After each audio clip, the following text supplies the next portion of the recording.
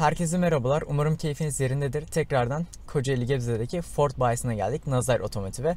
Şimdi içeride çok güzel bir Puma var. Puma SD Line videosu biliyorsunuz hoşunuza gitmişti. Yaklaşık bir günde 3000-4000 görüntülenme almıştı. ÖTV muafiyetine giriyor girmiyor onu bir bayi ile konuşmanız gerekiyor. Yani Nazar Otomotiv ile konuşmanız gerekiyor. Fakat sahil paket ÖTV muafiyetine kesin olarak giriyor. Fiyat için Nazar Otomotiv ile konuşmanız en doğrusu olur. Fakat bana Instagram üzerinden de yazabilirsiniz. Güncel fiyat ise belirtirim. Çünkü fiyat sürekli değişiyor bildiğiniz. Bakalım Puma Style bize neler sunuyor. İyi seyirler diliyorum. Puma ST Line'ı çekmiştim. Puma ST Line'ı gerçekten çok beğenmiştiniz. Şimdi Puma Style'ı çekelim. Bakalım Puma Style bize neler sunuyor. Bu araçta konfor paket var. Konfor pakete ek olarak neler ekleniyor? Ee, park sensörleri ekleniyor. Ondan sonra dijital klima ekleniyor. Bu şekilde farkları oluyor. Şimdi bu araç otomatik bir araç. 125 beygir, 200 Nm torka sahip. Gördüğünüz gibi e, tasarım olarak biraz Porsche'u anımsatıyor. E, burada style paketi var. Şurada da S-Line paketi var. Bu arada showroom gördüğünüz gibi bayağı dolu. Showroom bu şekilde. Ticariler de çok şık duruyor bu arada. Şimdi bu aracı anlatmaya başlayacağım. Dediğim gibi motor verileri bu şekilde. Yakıt verisine geldiğimiz zaman da şehir içi 5.8, şehir dışı uzun yolda 4.3 karma olarak da 4.9 gibi bir verisi var. Bu araçta 17 inç jant lastik var. S-Line'da 18 inç jant lastik var.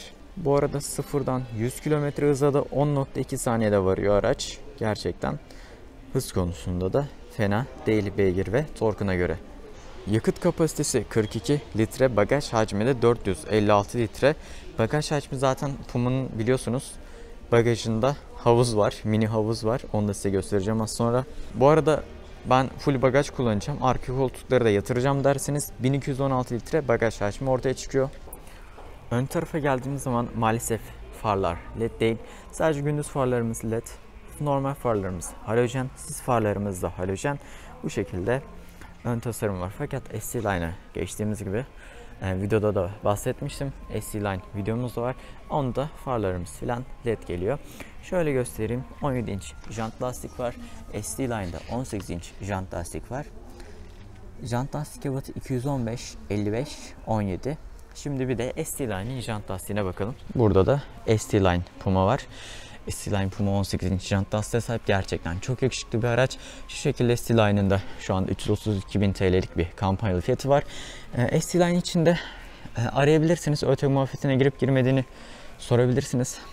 Yani ÖTV muafiyeti için de ST Line'da konuşabilirsiniz. ÖTV muafiyetine girebiliyorsa o tam bilmiyorum çünkü onu bayiyle konuşmanız gerekiyor.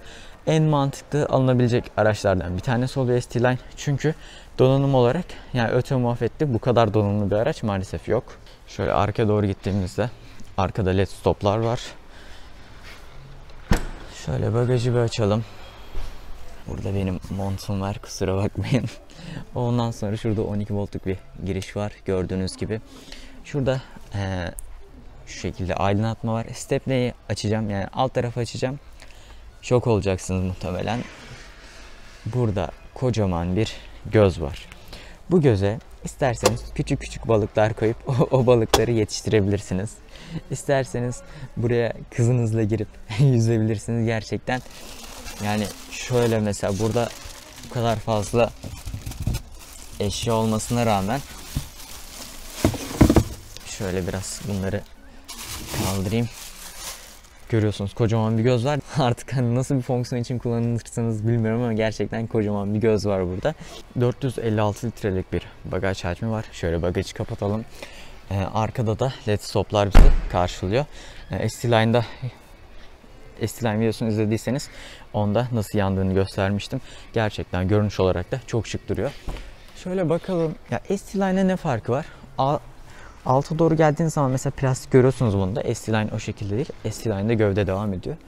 Plastik sizi karşılamıyor. O yüzden S-Line biraz daha şık gözüküyor. Bugün hiç güneş yok. Havada bütün ışıklar açık olmasına rağmen birazcık karanlık gibi. Ondan sonra şöyle baktığım zaman buralar genel olarak sert. Şurada şöyle bir küçük bir gözümüz var. Şurada şöyle iki tane göz var. Şurada bu şekilde bir göz var. Yukarıda da bu şekilde sarı bir ışığımız var. Şurada da elbise için gözümüz var. Burası genel olarak bu şekilde koltuklar kumaş. Şöyle bakalım.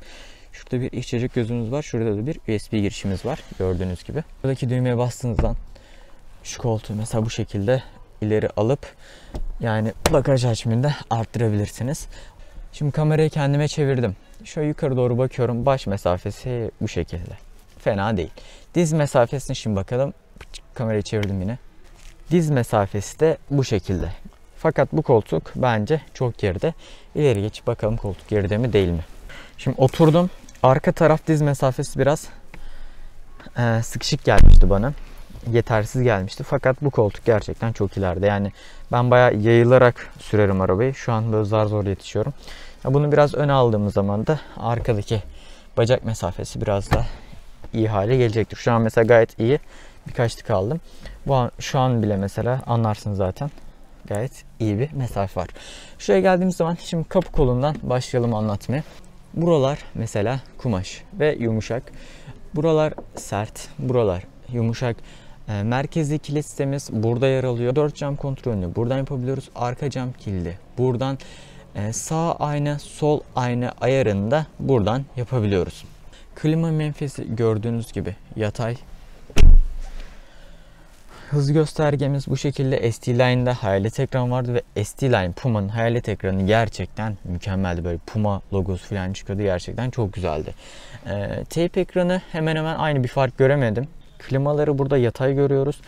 Yani telefon tutturucu falan koyabiliriz. Bu şekilde gayet iyi. Dörtlerimiz burada. Direksiyona geldiğimiz zaman da burada hız sabitleme limitörü görebiliyoruz. Hız sabitlemenin yükseklik ve alçaklık ayarını buradan yapabiliyoruz. Ondan sonra reset falan diyor mesela direkt reset diyebiliyoruz. Ondan sonra müzik sesini açıp kısma direkt susturma gibi özellikleri yapabiliyoruz. Şuradaki mesela e, hız göstergesini şuraya alma veyahut kaç kilometre benzin gideceğiz, yakıt tüketimi nasıl onların ayarını buradan yapabiliyoruz. Direkt telefon arama, açma gibi ayarları da buradan kontrol edebiliyoruz. Far yapısı da bu şekilde buradan yükseklik, alçaklık ayarı yapabiliyoruz. Parlaklığı arttırıp azaltma ayarını buradan kontrol edebiliyoruz. E, silecek ayarını da buradan kontrol edebiliyoruz. Buraya doğru geldiğiniz zaman da klimanın nereye vuracağını, size mi cama mı yoksa ayaklarınıza mı vuracağını kontrol edebiliyorsunuz. Direkt klima motorunu falan da açma gibi özellikleri şuradan yapabiliyoruz. Burası bu şekilde. Aracın içinde kötü bir koku varsa buna tıklayıp devir daim yapabiliyorsunuz. Ve o kötü kokuyu dışarı atabiliyorsunuz. Kablosuz şarj ünitesi falan maalesef yok. Fakat burada baya geniş bir göz var. USB girişimiz var. Gördüğünüz gibi çakmaklık var. Sigaralık da diyebiliriz buna. Yani kullanmadığım için pek bilmiyorum burayı. Ondan sonra PRNDL var. L'de yokuş inerken veya çıkarken L'ye alırsanız size motor biraz yardım ediyor ve daha iyi bir performans sağlıyor. Güvenlik açısından daha iyi oluyor L. Buraya baktığımız zaman sürüş modumuz var. TCS var. TCS off. Direkt çekiş kontrolünü elden bırakır. Bunu off yapmayın. Aktif hale getirin bunu. Start stop özelliğimiz var gördüğünüz gibi. Şuraya doğru baktığımız zaman da iki adet içecek için gözümüz var. Şurada da küçük bir göz var. Şurada da böyle bir göz var. Başka el frenimiz bu şekilde. Anahtar çalıştırma maalesef yok gördüğünüz gibi bu şekilde çalıştıracağız aracı. Şuraya bakalım. Torpido gözü nasıl? Torpido gözü gayet iyi. Ford'un bildiğiniz gibi iki kademeli torpido gözü var. Yukarıda ve aşağıda var. Bu yüzden saklama alanı torpido gözünün gayet güzel. Şurada da şu şekilde parlak bir plastik var. Piyano bilekte diyebiliriz buna. Bu şekilde yani gayet güzel bir eksiklik anlatmadığım bir şey yoktur herhalde. Unuttuğum bir şey de yoktur herhalde. Şu yan saklama gözü hakkında konuşayım son olarak da. Şurayı açtım. Saklama gözü bu şekilde gayet ideal bir saklama gözü var bence. Şuradan sırt ayarını yapabiliyoruz. Buradan koltuğun yükseklik, alçaklık ayarını yapabiliyoruz. Buradan da gördüğünüz gibi mesela bel desteğini yapabiliyoruz. Şurası da koltuğun ileri ve geri ayarı. Şuradaki mandalla da direksiyonu yukarı ve aşağı indirebiliyoruz. Son olarak ise şurayı da göstereyim. 125 beygir, 200 Nm torku var. 4.9 karma yakıt tüketimi. Puma Style'ın ÖT muafiyeti fiyatı 165 bin ile 170 bin arasında değişiyor. Tabi bayi ile konuşursanız daha net bir fiyat bilgisi verirler. Bana özelden yazarsanız da ben güncel durumu, güncel fiyatı Instagram üzerinden söyleyebilirim. Çünkü fiyatlar bildiğiniz gibi sürekli değişebiliyor. Yani bugün vereceğim fiyatı iki gün sonra alamayabilirsiniz. Emisyon değeri yakıt tüketimi de ve gayet iyi bir benzinli araca göre. Şu şekilde yandan gösterip artık bitişe geçeyim. Umarım video hoşunuza gitmiştir. Ford Nazar'a da teşekkür ediyorum size bilgilendirmem adına. Bana yardımcı oldular. Gerçekten teşekkür ediyorum. Umarım video hoşunuza gitmiştir. Kanala abone olup bildirimleri açarsanız sevinirim.